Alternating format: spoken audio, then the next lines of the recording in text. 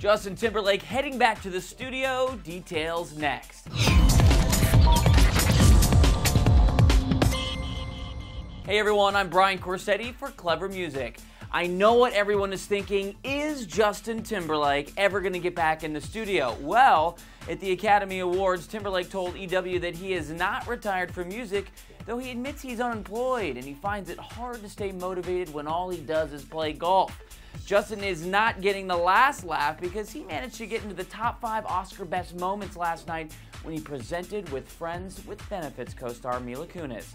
The witty Timberlake cracked her up with his deadpan delivery of several jokes, literally causing her to double over with laughter as they presented awards for animated films.